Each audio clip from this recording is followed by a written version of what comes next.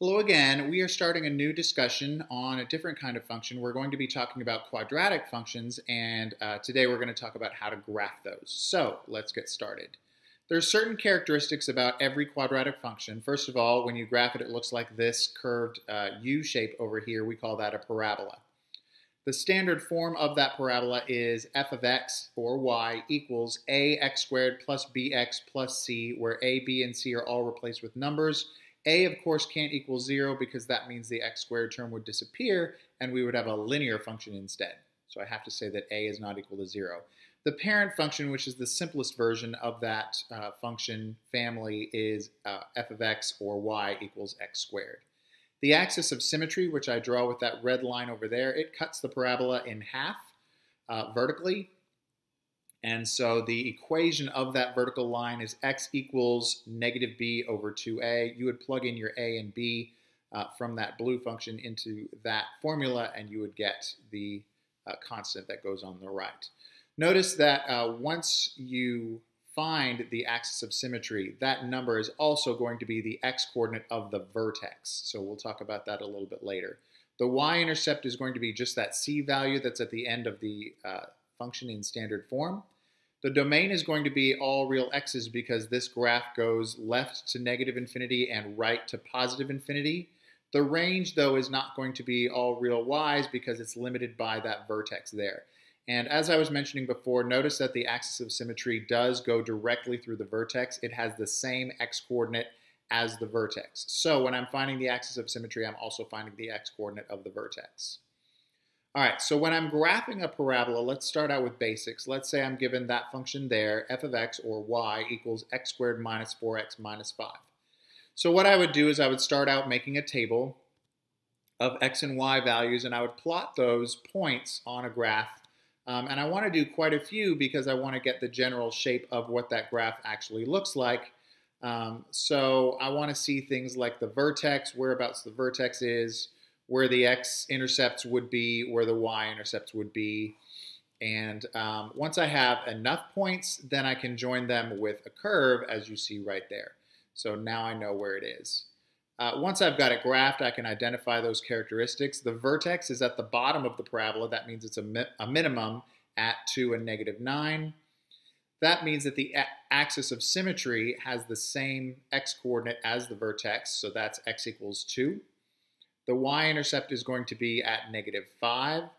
The x-intercepts are going to be at negative 1 and 5 on the x-axis.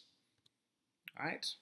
Now, if I have a function instead of a graph, I still need to be able to identify those characteristics, so I'm going to have to use formulas instead. So the vertex, I need the x and y for the vertex, because that's a point with two coordinates. So I'll use the same formula as for the axis of symmetry. That is x equals negative b over 2a. So plugging in my values of a and b in there, I get that x is negative 8 over negative 2, which can be reduced to 4. Now to figure out the y-coordinate of the vertex, I'm going to take that x and plug it into my original function. Everywhere there's an x, I'm going to replace that with 4. And if I do that, I get um, 1. So my vertex is at 4 and 1. That means that the axis of symmetry is at x equals 4 and the y-intercept is just that c value at the end of the function, so that's negative 15.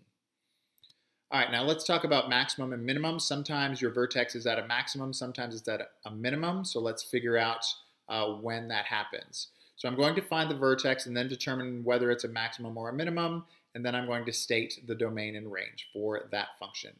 So again, I let x equal negative b over 2a, and I plug in my a and b from my function, I get negative 4 over 4, which simplifies to 1.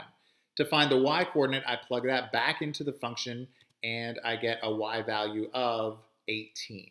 So that means my vertex is at 1 and 18. Is that a maximum or is it a minimum? That all depends on my a value. If my a value, the very first number, is negative, if it's less than 0, that means the parabola opens down.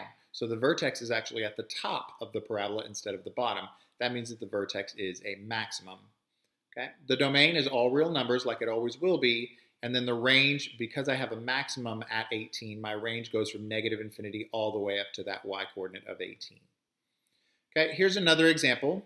If I have f of x equals 3x squared plus 12x plus 9, I'm going to find the vertex, figure out whether it's a max or a min, and state the domain and range.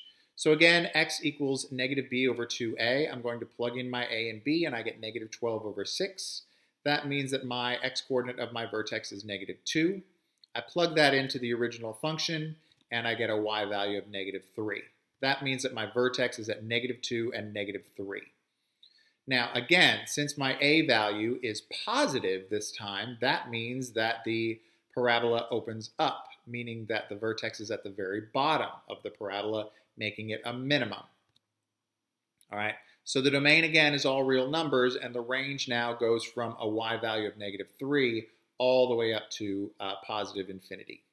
Okay, so here's a real world example of how we would use parabolas. Uh, Spooner is kicking a soccer ball, and the height of the ball is modeled by that function there, negative 16x squared plus 64x, where f of x represents the height of the ball after x seconds. So the first thing I'm going to do is graph the function. And again, I just plug in uh, x values that make sense. I'm going to start at 0 because that's when time started. And once I have enough points, I can graph it, and there's my graph right there. Okay. The next part of the question would be, what is the maximum height of the ball? Well, the maximum height of the ball is going to be at the vertex, which is at 2 and 64. So the maximum height would be at 64, and that would happen two seconds after he kicks the ball. And then the last part of the question is when does the ball hit the ground? Well, that means I'm looking for when the height is zero, and that's going to be at uh, x equals four. So the ball is going to hit the ground after four seconds, four seconds after he kicks the ball. All right, so that is uh, the basics of graphing quadratic functions. If you have any questions, please let me know, and I will see you tomorrow.